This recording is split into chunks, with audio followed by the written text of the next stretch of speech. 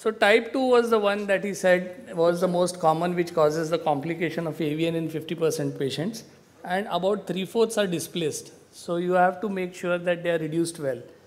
And internal fixation is the treatment of choice as he has pointed out. There is no more only cast unless it is totally undisplaced. So always you need reduction. And what your, the entire neck femur philosophy you must understand, it's a rare fracture, but the complications are devastating. You won't see more than one or two a year, but very high chance because you're going to get type 2 and three-fourths are going to be displaced. How are you going to prevent AVN and what are the determinants of AVN? So if you see, there are contrasting reports. Do you need to wake up at 2 a.m. in the night and fix? There are contrasting reports. Do you need to decompress the hematoma? It has been advised to do it, but there is no evidence that it really helps.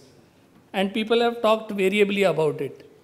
So if you compare AVN, whether displacement is more important or hematoma is more important, Boydesy was the one who aggressively said capsulotomy aspiration reduced AVN rates. In his series of 11 patients of type 2, he said early evacuation which was corroborated by Swin, uh, uh Swiontkowski and Winquist, where they had six cases. So 6 and 11, based on those 17 cases, they said capsulotomy, internal fixation, and we don't get AVN. Foringer said 6% AVN in spite of decompression within 36 hours. Uh, Cole series in 96, 30% in displaced fractures. Six were not decompressed, 10 were decompressed, but they still got AVN. Literature says 8% AVN, even if decompressed early, right? The landmark paper actually was from Charles Mehlman, which is from uh, Cincinnati, that is Sheetal's Institute, where they actually did a meta-analysis and quantified the risk factors for AVN after neck femur fracture. 360 cases, and what did they find?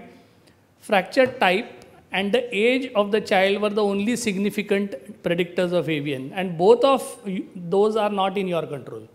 The age of the child is not in surgeon's control, neither is the type of fracture in your control. But they were the significant determinants of AVN. Older children were likely to have 1.14 times more likely to develop AVN and with each year of increasing age. And type 1 to 3 fractures were 5 15, 6 and 4 times more likely to develop AVN than 4. So that is what they predicted. The blood supply, Sheetal, uh, Manoj has already spoken about that greater the fracture displacement in that zone where all the blood vessels are, the greater risk of vascular disruption. So reduction becomes very, very, very important because that is the only thing in your control. Okay, we are here to talk about reduction and why is it important? Because we want to prevent AVN. So we need to have a good reduction and we need to have a stable fixation so that you can allow revascularization of the head so that you can preserve the intact vessels and allow vascular ingrowth from the metaphysis so that the head revascularizes over a period of time. Again, a paper in CORR about pediatric neck femur 30 year experience, there was no relation between decompression and AVN rates. Time of surgery should be less as possible, not emergent but urgent and quality of reduction gives you lower rates of AVN and the implant type matters, the timing doesn't. Again, another evidence which says that the time to internal fixation is not so important as stability of fixation. So what is in your hand? Good quality reduction and stable fixation. That is the one you should concentrate about. So we have learned that AVN needs to be prevented based on evidence, its age and displacement, which is not in your hand and quality of reduction and implant which is in your hand. So it is accurate reduction, adequate stability, undisplaced we know that just there will be less complications. But older children, the complete treatment as was proposed was close reduction, fixation, hematoma evacuation, that is plus minus, and application of a spica, especially in young kids when you are using a implant without a side plate. The reduction techniques have been classified into two parts, one with hip in extension or one with hip in flexion. But whatever is comfortable for you, you can go ahead and do. It is not what method you use, it is the quality of reduction, right? Commonly, people will do it, some people use a fracture table, but I use a radiolucent flat top table with a small bump if required. And it's usually the Leadbetter technique in 90 degree flexion, traction, slight adduction, and circumduct it into abduction. What is important, you know that the retinacular vessels are toned, so not to do multiple attempts. And if you don't get in the first or second attempt, please proceed to an anterolateral open reduction. Don't keep on messing around and turning around that neck too much and tearing whatever residual vessels are there. So simple method of flexion, traction, adduction, internal rotation, circumduct into extension. Open approach, depending on your comfort, typically Smith-Petersen for higher fracture and anterolateral Watson-Jones for a lower fracture. Go through the planes, small capsulotomy, and then with a finger or a lever you can get your reduction, use a K-wire to hold the reduction, and then assess the reduction. So Lowell was the one who talked about the alignment and he said there should be no kink, no C shape. It should be a smooth S on AP and lateral. So the Lowell's S curves are important to judge the quality of reduction. Varus and extension are to be avoided when you get your reduction. This is an example of a four-year-old treated with screws after a closed reduction and immobilized in a spica. And overall 12-month follow-up, you will see a good outcome even with a small implant, provided it is protected by a spica.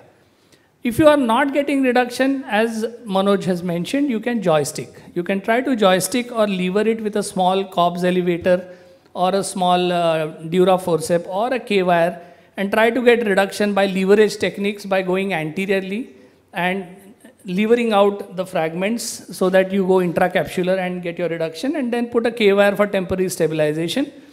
Again, this looks okay on the AP, but on the lateral, if you can see, one, one screw is not really placed very well. But the spica saved the day. The screw backed out, but it still went on to uneventful healing. And this is a longer follow-up, three years, five years follow-up. It stayed healed without any AVN. Stability of fixation, if you're putting screws, they should be posterior and inferior towards the calcar. That is what Lundquist has said. So posterior inferior is a better placement of screw and the side plate adds stability. So this is what we've been doing for a long, long time, maybe about 15 years. Small screws, as you can see, the first screw I use is outside the plate and the side plate is just for an additional stability so that there is no varus bending moment and you can discard the spica in slightly older children, use a long knee brace or a small splint for immobilization.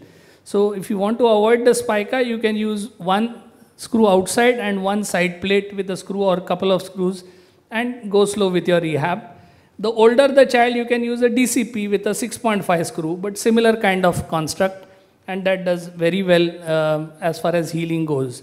So another 10 year old, again, if there is a doubt about stability as pointed out, cross the physis. Physis is not important, stability is more important. And in adolescent age group, a pediatric DHS is the gold standard. So 10, 11 and above, go for a small diameter DHS, not the adult DHS, and make sure that uh, your reduction quality is good. The implant options, you have cannulated screws, sliding screws, and lock plates available. To summarize again, a neck femur type 2 is an acute vascular event where your vessels are disrupted. AVN is related to accuracy of reduction and choice of implant of, and stability rather than timing of surgery. Emergent reduction is preferred to urgent, but accurate reduction is mandatory. Less than 3 wires and spica, 3 to 8 cannulated screws and spica with or without a side plate, and 9 to 15 pediatric DHS or the adult uh, AO hip plate which is available. And give preference to stability over the growth plate. 25% growth only happens proximally and you can easily cross the physis. Thank you very much.